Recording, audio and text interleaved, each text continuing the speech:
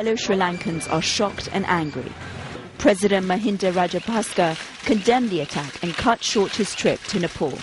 We from Sri Lanka condemn all forms of violence, and particularly when violence is directed at a sporting team and a national team that is renowned, we are further saddened Other sides have cancelled Pakistan tours over security concerns.